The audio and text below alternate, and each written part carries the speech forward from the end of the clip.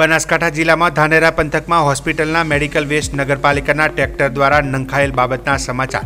પ્રસિદ્ધ થતાં ધાનેરા આરોગ્ય તંત્ર તેમજ નગરપાલિકા દોડતું થયું હતું અને આજે સરાલ રોડ સાઈડમાં આરોગ્ય તંત્ર તેમજ નગરપાલિકાના કર્મચારીઓ દ્વારા તપાસ હાથ ધરાઈ હતી અને આરોગ્ય વિભાગ દ્વારા મેડિકલ વેસ્ટના સેમ્પલો લેવામાં આવ્યા હતા અને નગરપાલિકાને પણ તાકીદે આ જગ્યા પર પડેલ કચરાના નિકાલ કરવા તાકીદ કરવામાં આવી હતી અને તાત્કાલિક ધોરણે આ જગ્યાઓમાં પડેલ વેસ્ટ કચરોની સફાઈ કરવામાં આવે, જેથી આજુબાજુના વિસ્તારના લોકોને આરોગ્યને કોઈ નુકસાન ન પહોંચે અને પશુધનનું પણ નુકસાન થાય નહીં તે બાબતની કાર્યવાહી કરવા નગરપાલિકાને પણ જણાવવામાં આવ્યું હતું.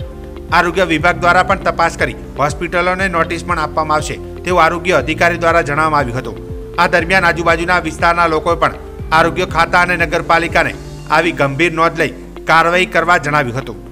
ધાનેરા તાલુકાના સરાલથી લાખણી જતા રોડ ઉપર જે કચરો નગરપાલિકા કોઈ દવાખાનાનો કચરો નોખી અમારા પશુઓ અને મોટું નુકસાન થઈ રહ્યું છે.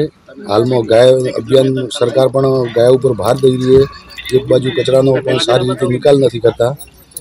અને જે નગરપાલિકાએ કચરાને ડમ્ફર બનાવેલું છે જોડે, એની જગ્યાએ આ જાહેર રસ્તા રસ્તા ઉપર અમારા ખેડૂતોને અવર જવર પચાસ ખેતરનો રસ્તો છે. અને આગળ મંદિર આવેલું છે. મંદિરની આજુબાજુમાં ભયંકર ગંદકી ફેલાઈ રહી છે. તો મારી સરકારને નમ્ર વિનંતી છે કે આ કચરાની યોગ્ય જગ્યાએ નિકાલ કરે અને શિક્ષણ અને સ્વચ્છ સ્વચ્છતા બધું સાચવાઈ રહે. ફેંકી જાય છે આ કચરો? આ નગરપાલિકાના કોઈ દમનો ટ્રેક્ટરો આવી રહ્યા છે અહીં.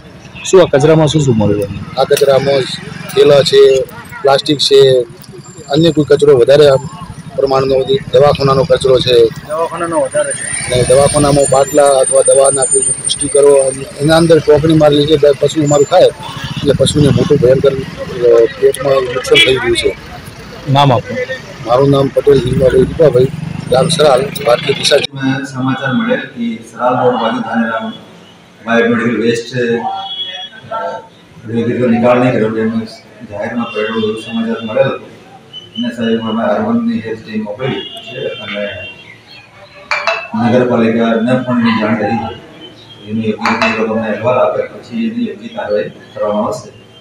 અને જે જેટલા બી હોસ્પિટલ છે એને અમે વારંવાર નોટિસ પણ આપી છે અને એને રેગ્યુલર બાયોમેડિકલ વેસ્ટનો નિકાલ કેવી રીતે કરવું, એની અમે ટ્રેનિંગ આપતા હોય છે તેમ છતાં એ લોકો કોઈ જણાશે બેદરકાર તો સામે યોગ્ય કાર્યવાહી પણ કરવામાં આવશે.